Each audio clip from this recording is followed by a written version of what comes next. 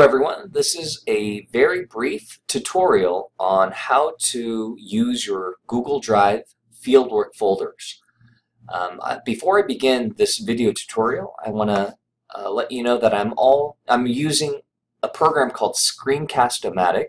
Here's the website where you can do a sh shared screen recording uh, functionality so you can share your screen. You can do this for presentations and whatnot. It's just a good website, and I, I want to give them a shout out uh, for for this tutorial.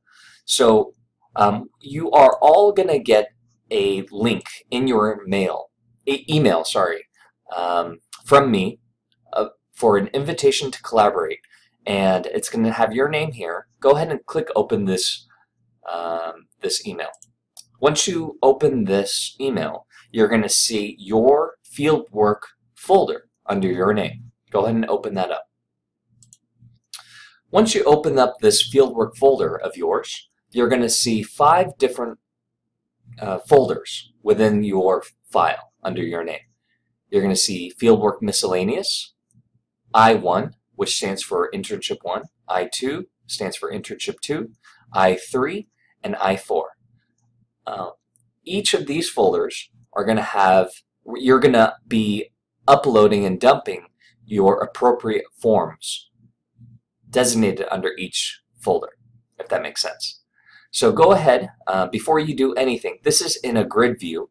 Um, if you want to see it in a list view, you have that function to see it in the list view as well. Um, it's really up to you. Go ahead and open this under your, um, your Google Drive account. So go ahead and click this button on the top right corner says Open in Drive.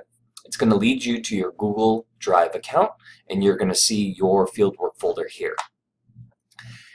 In the fieldwork miscellaneous folder, go ahead and open that.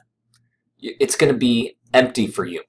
What you want to put in here are all the miscellaneous fieldwork forms, such as your fieldwork exam, uh, maybe a certification, or even a screenshot of your results, you want to have that file in here under Fieldwork Miscellaneous. You want to have a copy of the Fieldwork Handbook uh, downloaded from the STAR course or um, with, in your file somewhere. You can put it in this miscellaneous folder as well on your Google Drive.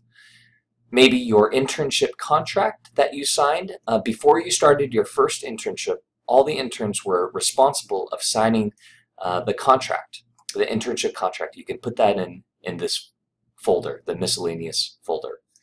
Um, exception to policy forms, they're all going to be here in this folder.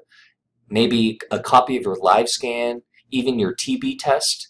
Um, those are forms that can be uh, in this category as well. So miscellaneous folder, you can put these uh, files in this folder. Now let's go back to the other folders. And the other folders, if you open up, let's say I open up um, internship 2 it's going to be blank for you. Oh, okay, so for you, it will be it will be blank like this. Here, you can um, click and drag whatever forms your contracts, your evaluations, your informed consents, anything that you have related to internship number two, you can dump that in here.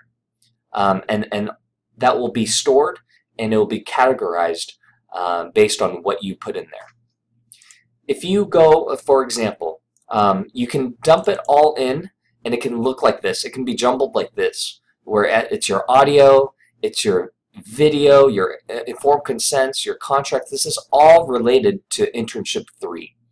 Um, your presentations that you've done, your Form A uh, eligibility form can go in here. Uh, your evaluations for this particular internship, if you finished it up, that can all go in uh, the designated folder. Now, this can look sort of messy. Um, and your supervisor is going to have access to this folder as well to, to listen to your audio, to see your videos that you do. Um, so what I suggest is to create subfolders, and I'll show you how to do that. So I'm going to go back to my folder, and I'm going to go to um, whatever internship that you're you're at. Let's say I go to internship four. That's where I'm currently at. Let's say, and I created subfolders uh, that designate where I'm going to drop the specific files into. How do you create subfolders?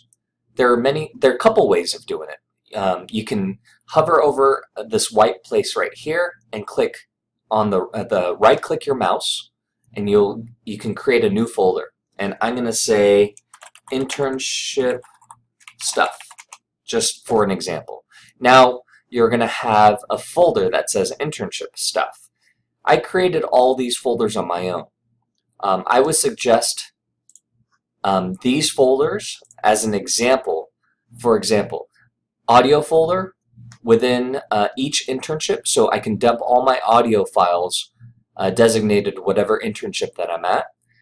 Uh, handouts, whatever I use, whatever type of handouts or presentation worksheets that I use for this particular internship, I dump it in, in this uh, file here.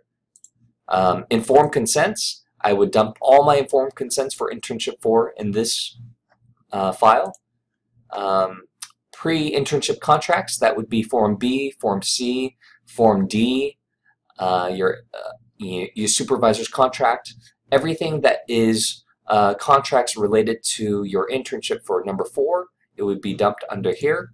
I also created a, a video file and I would dump video uh, video files in here so that my supervisor uh, knows where to go to watch these these videos. Um, so again, you can right click and create a new folder or you can go up here, click on I4 and create a new folder here. Um, that's another way, internship stuff. That's another way of creating uh, subfolders within your uh, folder for whatever internship that you're at. So this is a brief tutorial on fieldwork folders that each of you will be getting an invitation to. Now again, this is going to be your file on Google Drive, and please uh, go ahead and dump all of your forms related to each internship sites to the accord, uh, according files that you see in your file. Um, so I hope that made sense. Uh, it's a brief tutorial, but I just wanted to share with you on uh, what to do with these Google fieldwork folders. Thanks.